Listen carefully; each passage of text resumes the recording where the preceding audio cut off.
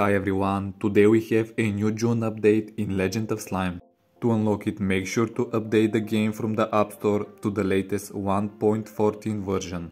Now let's go through all of the changes. Finally now the dungeon cap levels in Boss Rush and Gold Rush are increased. The max level in Boss Rush is now 150 and in Gold Rush 200.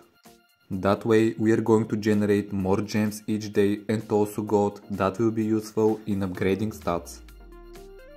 Next we have a new event called Aquos Growth Journal just like the previous event Guide to Slime where you need to have all these quests completed and you're going to get rewards. They are not good but the XP shards can be useful to new players who need to level up their slimes.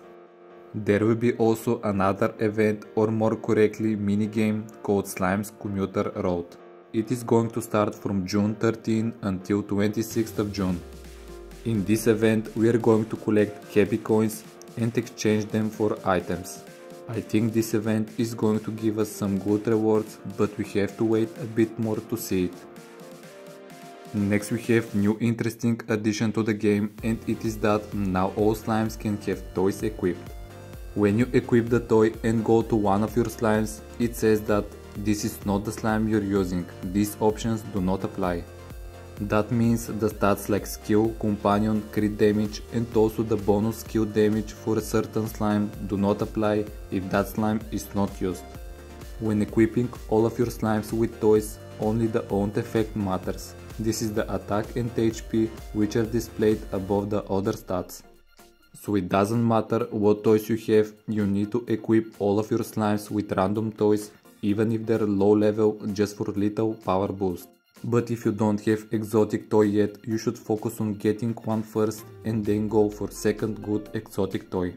Do not spend your clockwork on all toys, but only one at a time.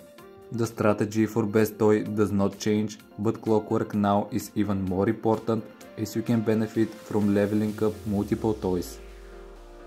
And finally we have a new SS slime called Swallow which we can unlock from 18th of June from Premium Pass and it looks like we are not getting a free slime yet another month. This was all from today's update in Legend of Slime, we are now waiting for the new event to come and if you enjoyed this video leave a like and subscribe.